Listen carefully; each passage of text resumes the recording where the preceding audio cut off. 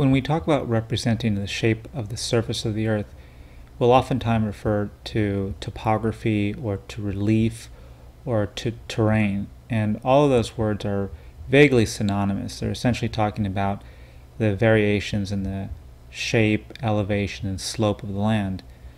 The two primary concepts that you need to understand when talking about representations of the topography of the land are elevation and slope. So I want to illustrate uh, both of those.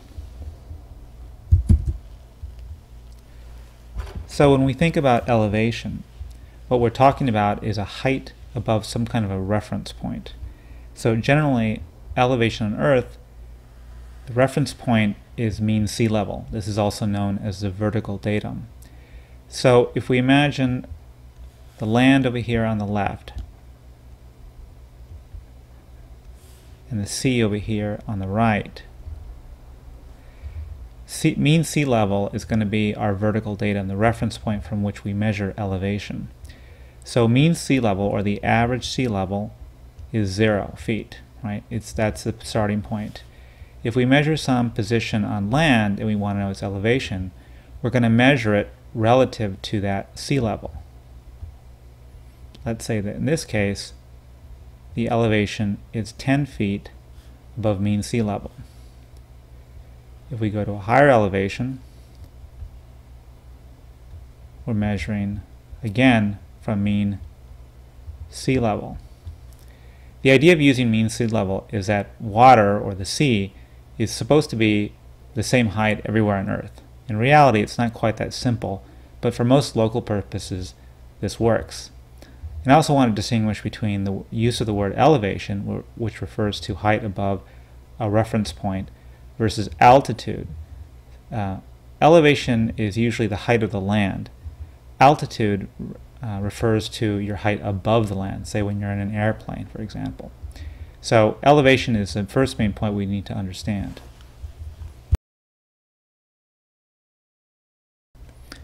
The second important component to understanding relief or the topography of the land after elevation is the idea of slope. And slope describes um, a measure of the vertical difference in elevation of a surface at two different points in relation to the horizontal distance between the same two points. So slope is essentially an expression of a relationship between rise the vertical distance between two points and the run, or the horizontal distance between those same two points. So let me talk about it in a real simple example. So let's imagine that we have a point over here, we'll call it point A, and we've got another point over here, and we'll call it point B. And so those two points are separated by a horizontal distance, and in this case by a vertical distance as I've drawn it. So let's imagine that A is 30 feet away from B, horizontally speaking, and B is 3 feet higher than point A. So the elevation difference between those two points is the rise.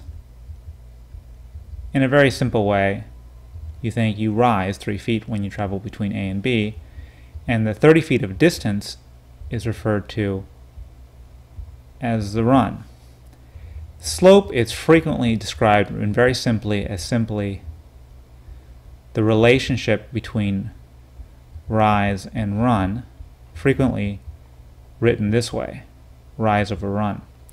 But we can express slope in a variety of ways.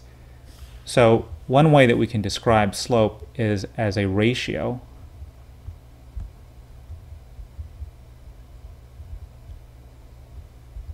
In this case, we would say 3 to 30, more often wanting to reduce that to 1 to 10. And the way we'd read that is one foot of rise for every 10 feet of run. Okay. Usually when we write it, well, always when we write it as a ratio, we want both units to be in feet, but we can reduce it so that the number on the left, the rise, is reduced to 1. So that's one way of describing what's happening along this path. Every one, every uh, for every 10 feet of run that you move, you rise, you change elevation by one foot. Okay. You can also write this as a simple fraction.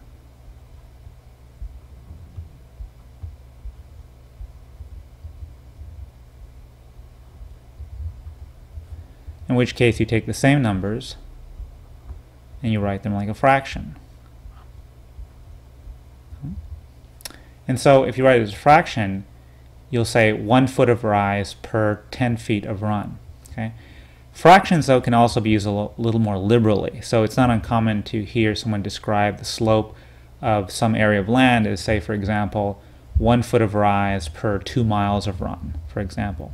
So you'd say one foot of rise for two miles of run. This is not uncommon when people are describing, for example, slope of uh, areas in the western part of the country where it's really wide open areas and you're trying to understand like the movement of water and how fast streams will run, assuming that the steeper the land is, the faster the water will run. So it's kind of a specialized application, but anyway, it's one other way of describing slope. A much more common way of describing slope is as a percent.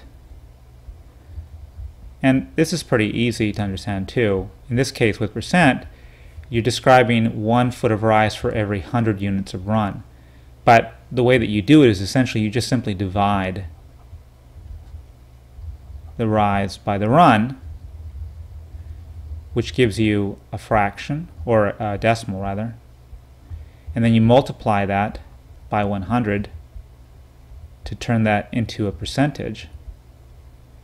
In this case, you'd say this is a 10% slope, right? The 10% slope is the same slope as one foot per 10 feet of rise, one foot of rise per 10 feet of run, excuse me, or one foot of rise to 10 feet of run. So these are all expressed in the same slope.